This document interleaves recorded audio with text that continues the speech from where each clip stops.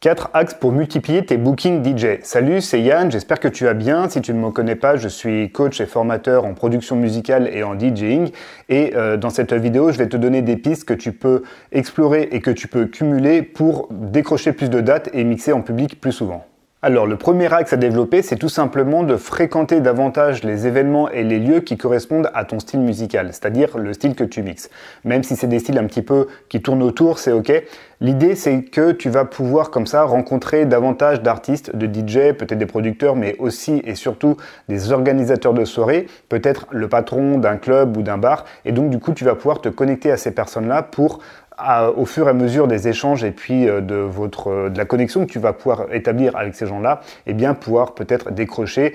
Dans un premier temps, ce sera peut-être un set de warm-up et puis euh, par la suite, tu vas pouvoir peut-être aller sur un set en peak time. Donc ça commence déjà par là. La deuxième chose que tu peux faire, c'est de travailler avec un booker ou avec une agence de booking, puisque eux, c'est vraiment leur travail de placer des artistes, des DJ ou des performeurs live dans des soirées, dans des événements. Ils ont accès à tout un tas de contacts et euh, d'établissements. Donc eux, c'est vraiment leur métier, si tu veux, de, de, faire ce lien entre ceux qui recherchent des artistes et ceux qui demandent des prestations, comme ça.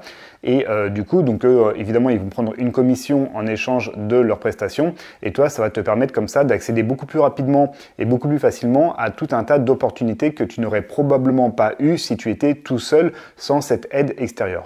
Troisième idée pour développer tes bookings, c'est d'organiser toi-même des événements, des soirées. Donc là, tu vas commencer par des petits événements. Peut-être qu'il n'y aura que 50, 100 personnes au départ. Et euh, du coup, à force de faire des événements, si ça fonctionne, eh bien, tu vas pouvoir faire grossir ces événements, peut-être aller à 200, 300 personnes.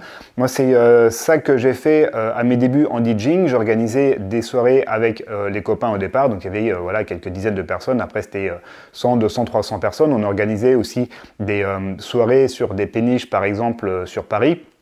Et euh, du coup, comme ça, l'intérêt, c'est que tu peux préparer, organiser dans une certaine mesure la soirée autour de plus ou moins, on va dire, ton style musical. Il peut y avoir plusieurs styles musicaux dans la soirée, bien sûr, mais si tu es sur un style musical, forcément, ça va t'aider comme ça à forcément placer au moins un set, peut-être éventuellement même deux sets dans une soirée, puisque tu as le contrôle sur le line-up, tu as le contrôle sur ce qui va euh, se passer en soirée. Alors après, c'est aussi un travail d'équipe, évidemment, hein, tu vas pas forcément organiser une soirée en étant tout seul, donc il faut aussi pouvoir inviter d'autres artistes, etc. C'est d'ailleurs très enrichissant pour euh, rencontrer euh, d'autres artistes, peut-être inviter des guests des gens que tu aurais aimé rencontrer. Peut-être tu as des DJ sont euh, connus, peut-être même des DJ internationaux si tu as le budget aussi pour pouvoir les inviter, si c'est rentable pour ta soirée. En tout cas, organise des soirées. Alors, c'est du boulot, mais ça a vraiment des avantages aussi, puisque au final, bah, du coup, tu, changes un petit peu la façon dont les autres gens dans le game vont te percevoir, étant donné que toi, tu viens amener beaucoup de valeur, puisque tu vas toi-même booker d'autres artistes. Donc, euh, bah, après, les gens peuvent être en demande pour venir jouer à ta soirée. Toi, ça te permet de multiplier tes contacts. Et puis, euh, si les gens sont bienveillants, euh, quand ils auront une opportunité pour toi te faire jouer à leur soirée par exemple, eh bien c'est une occasion comme ça d'en profiter et de encore multiplier tes bookings. Alors si tu souhaites aller beaucoup beaucoup plus loin dans le fait de multiplier tes bookings, d'augmenter tes cachets et de te professionnaliser en tant que DJ, sache que j'ai créé un cours dédié à l'organisation de soirées optimisées pour pouvoir jouer tes sets à ta façon lors de tes soirées. Et mon collègue Damien Rox, lui, il a créé 18 formations pour les DJ pour non pas apprendre les techniques de mix, euh, tout ce qui est lié aux, platines, etc., mais beaucoup plus orienté sur le développement de carrière artistique.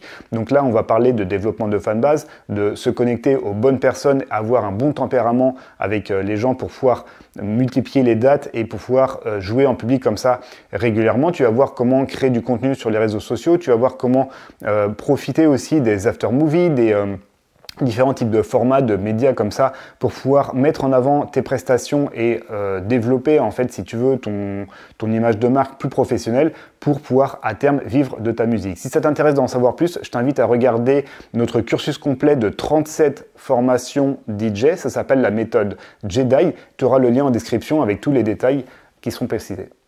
Et enfin, le quatrième axe, on en a parlé rapidement, c'est de tout simplement développer ta fanbase au maximum. Pourquoi? Parce qu'en fait, plus tu auras de gens qui vont te suivre sur les réseaux sociaux, sur SoundCloud et autres, plus tu vas pouvoir montrer cette preuve sociale à des euh, organisateurs de soirées, à des patrons d'établissements. Et en fait, quand tu te mets à leur place, d'un point de vue purement commercial, d'un point de vue purement business, en fait, eux, ils veulent qu'il y ait un maximum de gens qui viennent à leur soirée pour, un, payer des entrées et deux, euh, gagner de l'argent au bar, parce qu'avec l'alcool, c'est vraiment là où l'argent se fait dans les soirées, dans beaucoup de cas. Donc, plus un DJ, plus un artiste a une fanbase qui est développée, et plus ça va être euh, séduisant, si tu veux, pour un organisateur de soirée. Alors, il suffit pas non plus d'avoir que un, joli nombre euh, de followers sur Instagram ou sur euh, SoundCloud ou autre. Il faut aussi idéalement que ta fanbase soit engagée. Parce que si tu as des milliers de personnes qui sont abonnés à ton compte mais qui ne réagissent pas quand tu publies du contenu, qui ne te soutiennent pas vraiment, eh bien on peut se dire que ces gens-là vont pas être suffisamment engagés pour venir à la soirée. Donc c'est pas le plus intéressant. Le plus intéressant c'est quand tu as une fanbase qui est vraiment engagée, qui est là pour te soutenir et des gens sur qui tu peux, compter quand il s'agit euh, bah, d'aller en soirée et de ramener du monde.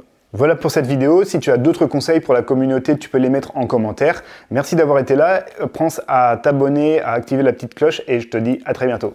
Ciao